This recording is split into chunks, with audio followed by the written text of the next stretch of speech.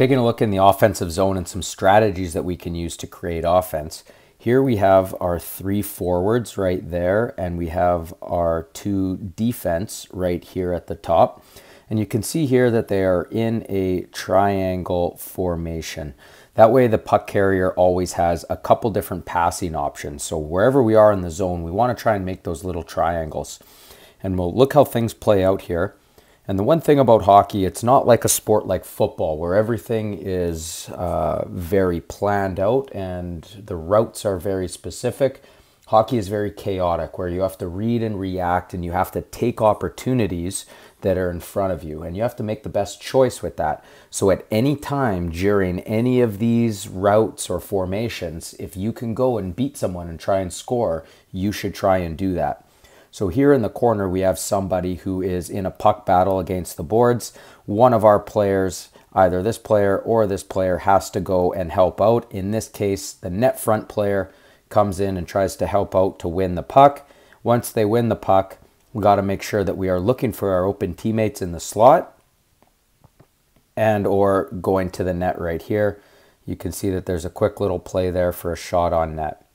The other thing that we can do if you have the puck in the corner is look up to the defense person up top here. So you can pass the puck all the way up. And when this defense player gets the puck, we want them to try and shoot the puck to the net. And we have two people right here who are looking for tips, deflections, or screens. And we have this other person waiting over here in case the D doesn't like the shooting option and they want to pass it back down the wall. You are a support player down there on the wall. Looking at a cycle now, uh, player right here with the puck is going to skate up the boards. We call it climbing up the wall this direction. And like I said, if you have an opportunity to drive into here and shoot in a game, you take it. But in this case, we're going to say that there's no options available. And if there's no options available, the safe play on the cycle is to dump the puck down the boards. And that's when our net front player will go down and get the puck and this player will now filter down in front of the net. So it's like the players are always rotating around in a circular motion, reading and reacting off of each other. So you can see how this plays out here, just like that. And again, if this player has no options, they can dump the puck down the wall for another cycle. If they have an option to pass it up here in a game, take advantage of it. If they have the option to pass it to this player, take advantage of it or if they have the option to skate through here and take a shot on net, take advantage of that opportunity as well. Here they go back behind the net. And you can see here one of the options for a scoring chance. Sometimes there might be a puck battle and the puck might not come up the wall, but it might go down behind the net. In this case, net front player is going to go and get it, come out the other side and look at the different passing options that this player has on top of their ability to go in and try and score on their own. So in these situations, you have to make the best choice available to you. Sometimes it'll be doing it on your own. Sometimes it'll be passing to your teammates, but those are some of your options that you can do.